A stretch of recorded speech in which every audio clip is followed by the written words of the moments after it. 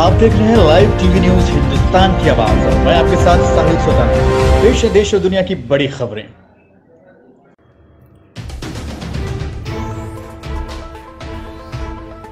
उन्नाव जनपद की बांगरमऊ तहसील में आज नगर पालिका परिषद कार्यालय के सामने माँ राममूर्ति अतिथि गृह में उत्तर प्रदेश सभासद संघ के बैनर तले सभासदों की एक सभा आयोजित की गई। सभा संघ की इस मीटिंग का आयोजन बांगरमो नगर पालिका परिषद के सभासद सिंह अर्कवंशी ने किया। इस मीटिंग का मुख्य उद्देश्य सभासदों के हितों की रक्षा करना, उनके अधिकारों की रक्षा करना, जनहित में किए जाने वाले विकास कार्यों को कराने के लिए उन्हें अधिकार दिए जाना बिंदुओं पर मुख्य रूप से चर्चा की गई। आनंद सिंह आगवंशी ने कहा कि हम सब संगठन के माध्यम से अपनी आवाज़ को प्रदेश, शासन और सरकार तक पहुंचाएँगे और अपने अधिकारों की रक्षा के लिए मांग करेंगे।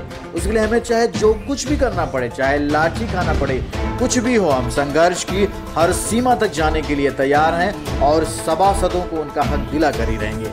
इस मीटिंग में कई जनपदों की नगर पालिका और नगर पंचायतों के सभासद काफ़ी संख्या में मौजूद रहे। बांगर मुगल सभासदों में प्रमुख रूप से राहुल शुक्ला, अजय गुप्ता, खलील, अनिल कुशवाहा, इसरार अहमद, उमा शंकर यादव, मंगल यादव, अरशद आफाक, अनिल लोधी, सुनील गौतम और मोहम्मद हफीज मौजूद रहे। Live TV news bureau report, Unnao. Anand ji, ये जो उत्तर प्रदेश सभासद संघ की बैठक आपने यहाँ कराई है, जिसमें जनपद के साथ साथ और तमाम जनपदों के सभासद भी उपस्थित हुए। क्या इसका मकसद और क्या था? पूरा कार्यक्रम संक्षिप्त में बताएँ। जी, ये सारे सभासदों को लेकर उत्तर प्रदेश के जितने भी सभासद हैं, जो हमारे सभासद जनहित में विकास कार्यों के लेकर जनता से जो वादे करते हैं, उन सबकी लड़ाई करने के लिए, उनका विकास, वार्डों के विकास के लिए हम लोग चाहते हैं कि हम लोगों को किसी के ऊपर डिपेंड न रहना पड़े। हम लोग या तो चेयरमैन के ऊपर डिपेंड होते हैं या ईओ के ऊपर डिपेंड होते हैं।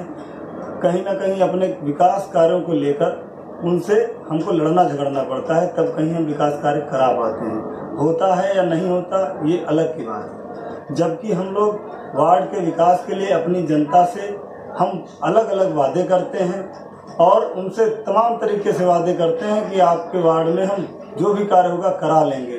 हकीकत में ऐसा नहीं है। तो इन सब मांगों को लेकर हम उत्तर प्रदेश सरकार से अपनी आवाज़ पहुंचाना चाहते हैं और कहना चाहते हैं कि हम लोगों को भी अधिकार दिए जाएँ और अपने जनता के हम कार्य करा सकें। इसके पश्चात हम लोग समाज की सेवा करने के लिए अपना समय भी लगाते हैं और पैसा भी लगाते हैं। तो हम लोग ये चाहते हैं कि हम लोगों को महीने में या साल में कम से कम पाँच लाख रुपए विकास कार्य कराने के लिए दिया जाए और पाँच हज़ार रूपए मासिक यात्रा भत्ता दिया जाए, तमाम तरीके की हम लोगों की मांगे हैं, जो जनहित में बहुत ही आवश्यक हैं कि किसी भी कार्य को कराने के लिए हम लोग उसकी आवश्यक पीढ़ी है।